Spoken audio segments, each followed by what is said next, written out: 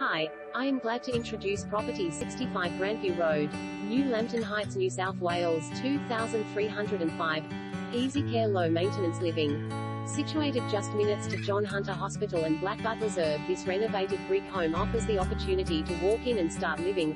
With freshly painted interiors, level yard and multiple living areas this home is ideal for a growing family.